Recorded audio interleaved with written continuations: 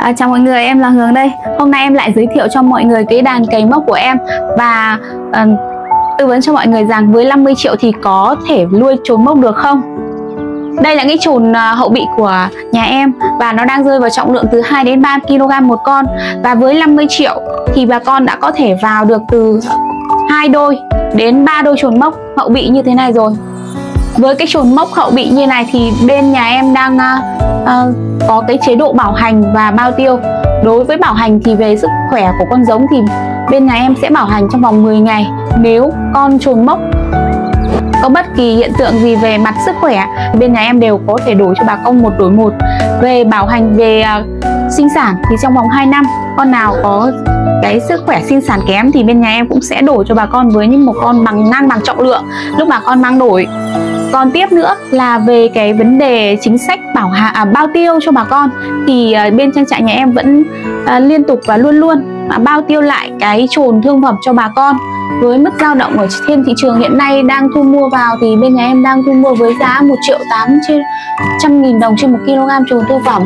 Nên bà con ờ, sẽ yên tâm trong quá trình chăn nuôi và không lo lắng gì về cái vấn đề đầu ra. Về cách chăn nuôi con trùng mốc này thì rất là đơn giản. À, Ngày thì ờ, bà con có thể là cho ăn một lần thôi cũng được. Mình sẽ chăn 8 viên là chủ yếu. Và mình cho uống nước thôi. Nó không mất quá nhiều thời gian của bà con. Nếu mà ai mà bận ấy Thì một ngày thì mình chỉ cũng có thể ngó con trồn này hai lần Buổi sáng và buổi tối. Buổi sáng thì mình có thể vào mình dọn dẹp phân cho rồi cho uống nước. Rồi buổi tối mình uh, hòa cám cho ăn thôi. Rất là đơn giản không mất quá nhiều thời gian và công sức của mọi người mà lại mang lại cái hiệu quả kinh tế hiện nay nó là cao nhất trên thị trường và em cũng có một lời khuyên cho mọi người trước khi bước vào chăn nuôi chuồn mốc đó là mọi người phải chuẩn tâm lý thật sẵn sàng và những cái tìm hiểu thật kỹ về kỹ thuật nuôi con chuồn mốc này đồng thời tìm hiểu về cái giá trị thật của con chuồn mốc này trên thị trường. Và cái tiếp theo nữa là khi vào giống con chuồn mốc này thì mọi người lên vào cái giống hậu bị à, như của nhà em đây. Nó đang rơi vào từ 2 đến 3 kg trở lên thì nó sẽ đảm bảo sức khỏe hơn. Và khi mà chăn nuôi con chuồn này mọi người phải đảm bảo được cho em đó là môi trường sạch sẽ. Sạch sẽ từ khâu chuồng trại rồi đến khâu nước uống rồi đến cho ăn, tất cả đều phải sạch sẽ. Và hôm nay em đang xuất 25 con chuồn giống.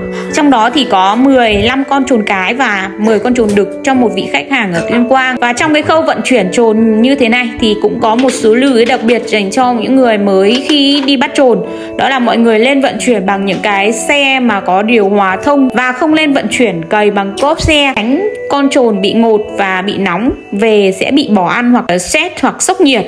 Mọi người lưu ý cho em Việc tìm được một cơ sở cung cấp giống con trồn mốc lầy uy tín cũng là một vấn đề rất là quan trọng. Lên, mời mọi người hãy đến trang trại của em tham quan và học hỏi trước khi vào con giống trồn mốc này để được bọn em chia sẻ nhiều hơn về những kinh nghiệm nuôi con trồn mốc này mà bọn em đã có được trong suốt 8 năm chăn nuôi con trồn mốc này ạ. À.